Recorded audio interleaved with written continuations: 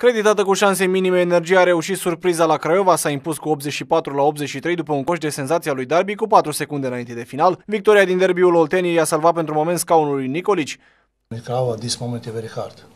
În primul rând trebuie să-mi felicit jucătorii pentru că au câștigat meciul de la Craiova, un meci care era unul foarte, foarte dificil. Și asta pentru că jucătorii de la Craiova aveau o încredere foarte mare, nu pierduseră deloc um, acasă în noua sală în acest sezon. Darby și Wisek au fost principalii eroi ai energiei în bănie, cei doi americani au reușit 26, respectiv 29 de puncte și au influențat decisiv rezultatul final.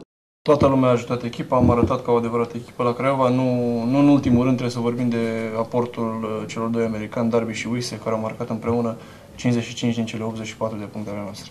Șansele energiei la play-off au scăzut însă după ultima etapă. CSM București a învins Cluj, așa că gorgenii au nevoie de un miracol ca să prindă turneul eliminatoriu. Practic, în cazul unei înfrângeri joi la Cluj, energia va pierde și șansele matematice la play-off, iar Nicolici va fi demis. Am deja bagajele pregătite, recunoaște sârbul care speră însă la o încă o victorie surprinzătoare.